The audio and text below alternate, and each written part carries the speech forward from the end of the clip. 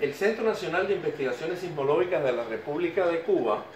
eh, realizó eh, un informe sobre la perceptibilidad de, este evento en nuestro país y reporta la hora de ocurrencia, reporta cómo a través del registro aportado por la red del Servicio Sismológico Nacional fue posible hacer una catalogación de la magnitud y las eh, coordenadas asociadas de este evento, eh, da una mayor eh, magnitud de la reportada por el Servicio Geológico de los Estados Unidos y esto es obvio porque las estaciones cubanas se encuentran mucho más cercanas al,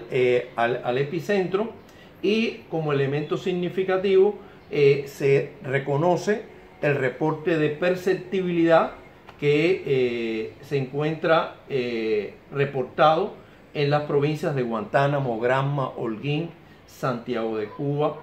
eh, todas concentradas en la parte oriental de Cuba. Hasta el momento, según el reporte de las redes tanto internacionales como la red nacional, han ocurrido un grupo de réplicas en el orden de 5 de magnitud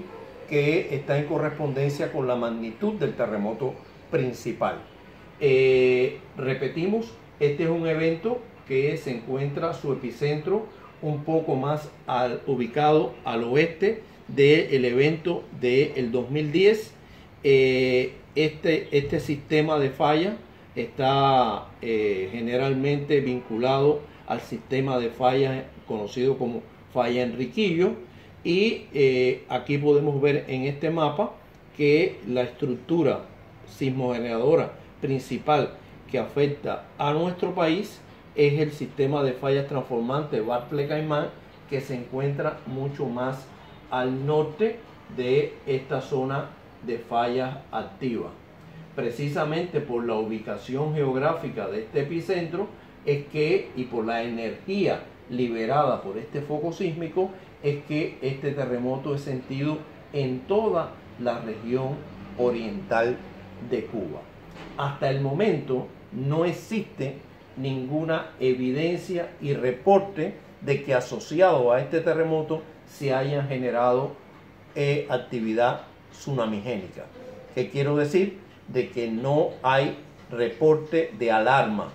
de tsunami para la región oriental de Cuba asociada a este evento sísmico.